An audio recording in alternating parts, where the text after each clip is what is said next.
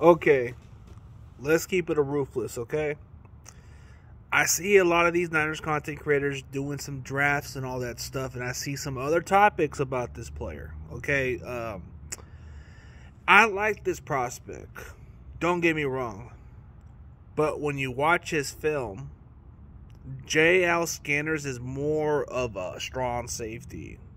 He's a hybrid player. He can play the sandbacker, and he can be the kind of guy that would be good on your defense, but the problem with him is he's not a single high safety.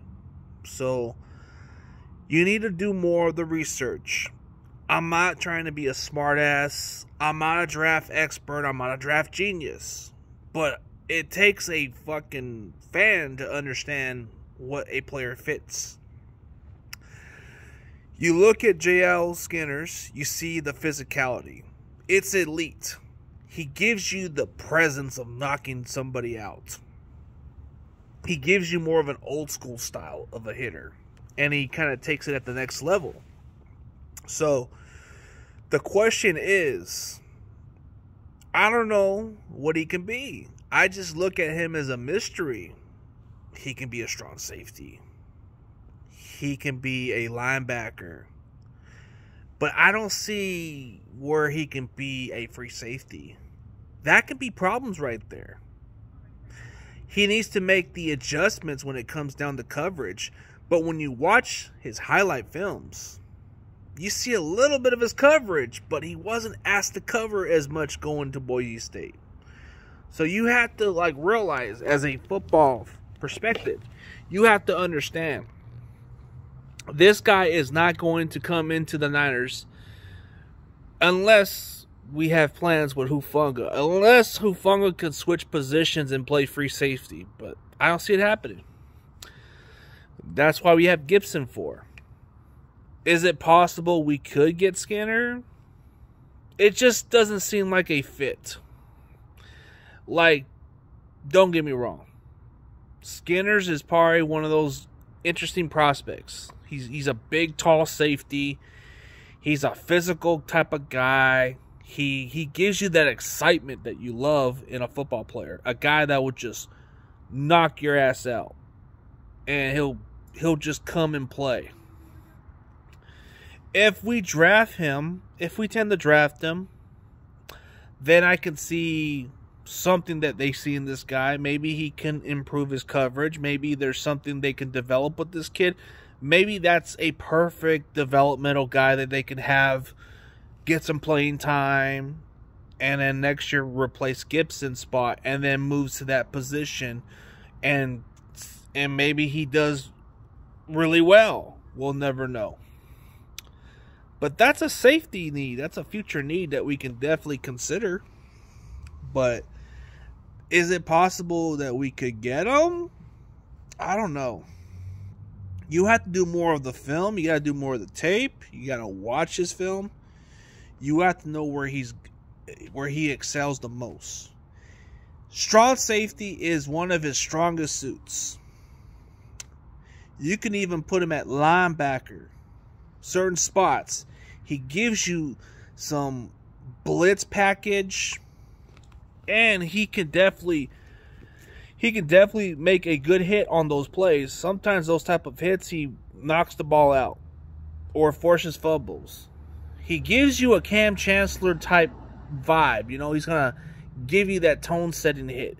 He's gonna let you know that you're in his territory. He's gonna knock your ass out, and that's gonna be the kind of guy that if somebody drafts him, he's gonna be a fucking good baller. The concern factor is I would hate to see him go to Seattle because he'll give me some Kam Chancellor fucking vibes. It's like going back in time. Kam Chancellor is coming back. This is a reincarnation of Kam Chancellor coming to Seattle, and that would be a nightmare. This would be like another guy fucking knocking our player out, and it would be uncalled for. I would try to see what we can do to get this guy. I wouldn't be upset about the pick. I wouldn't be upset about us drafting him. It's just I would want to see where we put him at. Maybe I'm wrong about the free safety spot, but he was playing strong safety. He's in the box. but I would love for this guy to go, to play for us. I wouldn't be upset about it. I would just scratch my head a little bit like why did we pick him? And then maybe I could understand where they can put him at. I just look at the role he can play strong safety. He can be your transition to linebacker or do a little bit of everything. Versatility is very important. And he has the elite traits of a physicality. He is good in some ways. Maybe he is going to be good at covering, but a lot of free safeties are not that big. But maybe with him, he can be a difference maker. Maybe he you get him as a guy that you can slowly develop and then next year he becomes your starter and then the transition from free safety probably won't be as hard. Maybe he'll get a chance to learn, I mean watch and learn and pick up the knowledge and then maybe starts to improve more of his of his game. I think that could be an interesting prospect for the Niners to draft. You know, if we draft this kid, I wouldn't I wouldn't oppose this. I'd be okay with it. Just so if we get him, it would be to just take him away from Seattle. It would be just the way to say, nope, we're not letting you get one of these type of guys. We're gonna take them off your hands before you get them. Oh, we're gonna we're gonna make this guy knock your best players out of the game. We're gonna make this kid look like a fucking scary ass player, bro. We're gonna take the next Kam Chancellor off your hands, bro. This is the reincarnation of fucking Kam Chancellor, bro. You watch JL Skinner's, bro. I just think of Kam Chancellor. The fucking hits. It, it's crazy, bro. It, it, when you watch his highlights, I'll send. I'll put the link under the description. Watch his film. I'm not kidding, bro. This is a reincarnation of fucking Kam Chancellor. Think of the Legion of Boom. Think of that guy, bro. The guy is six foot four, 220 pounds, bro. This guy, you watch his film, bro. He lays out people, bro. Like I, I can't think of anybody as close to a Kam Chancellor, but this kid, this kid lays out people. Like I'm not kidding, bro. So think about it, man.